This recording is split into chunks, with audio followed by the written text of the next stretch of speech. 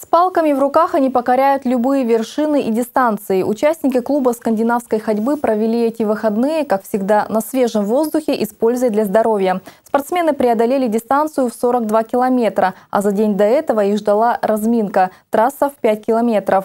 За подготовкой спортсменов наблюдала наш корреспондент Ирина Нежалова.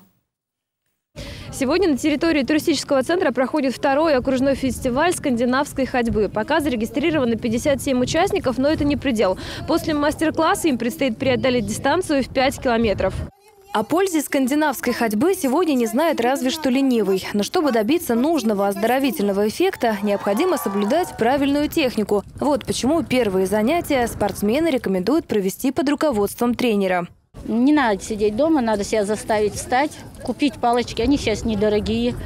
И просто, если вы не знаете, просто прийти к нам на занятия, и мы научим всему. В рамках второго окружного фестиваля скандинавской ходьбы инструктор Мария Завьялова проводит для всех участников мастер-класс и разминку. Новички узнают, как правильно использовать палки, чтобы добиться нужного эффекта от нагрузок, ну а спортсмены разогреваются перед предстоящей дистанцией в 5 километров. Внимание! Марш! Скандинавская ходьба с каждым годом приобретает все большую популярность. В округе этим видом любительского спорта занимаются уже свыше 600 человек. Нашему клубу уже 5 лет. Эта команда идет вместе со мной эти 5 лет. Мы покорили 10% земного шара. Поаплодируем сами себе.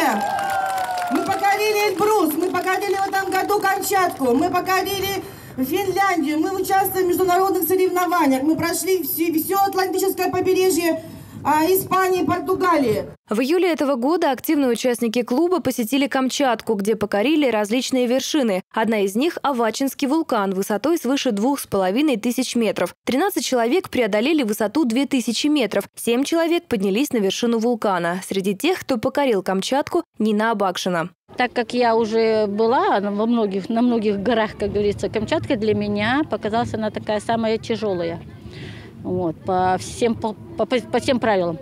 Вот, потому что там и восхождения другие, и там действительно там холодно, там действительно в горах зима с перемешкой э, растительности, но это интересно.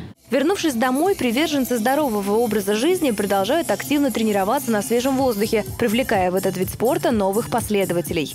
Ирина Нежалова, Дмитрий Лукевич, телеканал «Север».